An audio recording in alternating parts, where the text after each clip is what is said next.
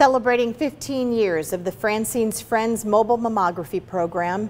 Today, lunch with friends at Memorial Coliseum. Hundreds enjoyed great food, entertainment by Heartland Sings, news of new 3D technology on the mobile coach, a roundtable discussion about breast cancer and what it takes to survive it, and an amazing message from keynote speaker and breast cancer survivor Donna Packnett.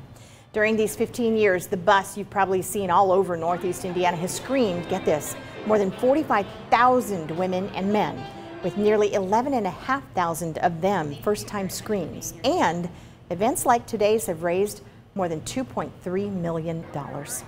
What's in my heart is that this is amazing and how much it's been supported by our community.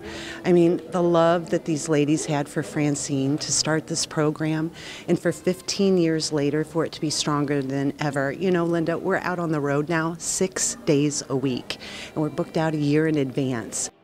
In 15 years, Francine's Friends has funded 16,387 mammograms. The organization relies on several corporate donors along with donations generated at fundraisers, especially at this annual luncheon. And I was delighted and honored to host today. Wow, that's amazing. They're out there six days a week and booked a year in advance. And, and Marita let the cat out of the bag today about the 3D mammography being mm -hmm. available on that coach.